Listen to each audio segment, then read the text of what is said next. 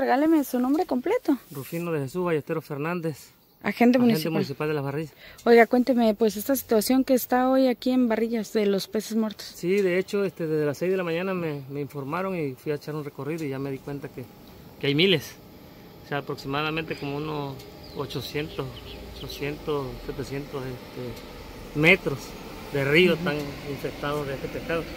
Eh, acabamos, acabo de tener un- una llamada con el biólogo este, Casimiro de aquí de Coatzacoalcos y él me enlaza a Jalapa y en Jalapa nos dan para tener un dato preciso sobre lo que estaba pasando y ellos me dicen que, que lo más común o lo más probable es que algún pescador trajo ese pescado a, a la- adentro de barrillas y desamayó y se, se esparció. Pero ya nosotros anduvimos investigando y no, nadie lo trajo. O sea, ese pescado pudo haber entrado con la corriente, se topa con el agua dulce, se embarbasca y se muere. Que puede ser un... Porque son de agua salada. Porque es de agua salada, exactamente. O sea, entra al río, el río tiene poco movimiento de agua, eh, con la lluvia la- bajan agua sucia, se embarbasca y se muere.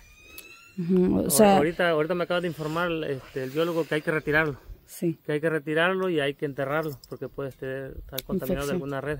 Sí, para, para que no haya algún- Oiga, y, y entonces esta posibilidad de que sea eh, contaminación por chapopote o contaminación del agua pudiera No, descartar. no se descarta porque los animales que se murieron o los peces que se murieron son de una sola especie y todos son de mar. Ya.